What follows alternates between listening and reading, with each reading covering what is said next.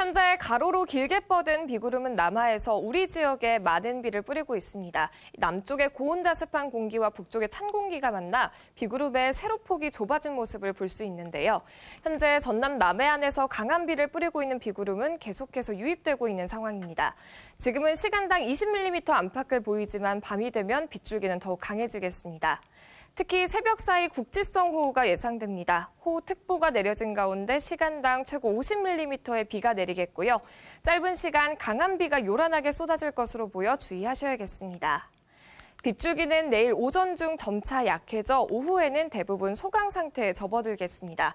그때까지 많은 곳은 150mm 이상의 강수량이 예상되고요.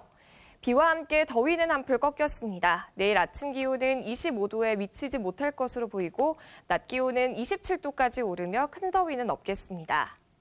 자세한 지역별 기온입니다. 대부분 지역의 내일 낮 기온은 30도를 밑돌겠습니다. 평년보다 2, 3도가량 낮겠고요.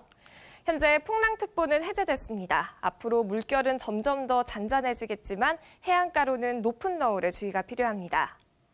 이번 비가 그치면 기온은 바로 다시 오르겠고요. 다가오는 주말 한 차례 비가 더 지나겠습니다. 지금까지 날씨 전해드렸습니다.